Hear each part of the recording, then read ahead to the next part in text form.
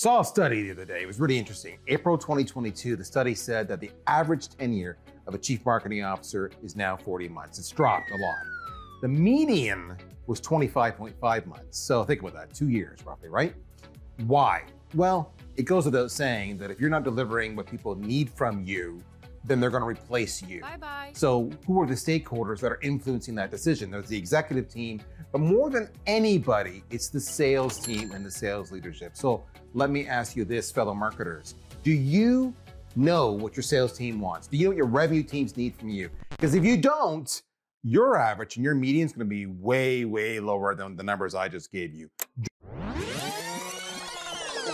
The median was 25.5 months. Join me July 28th, 11 a.m. Eastern Time, as we talk about what revenue teams want from marketing. I'm Darryl.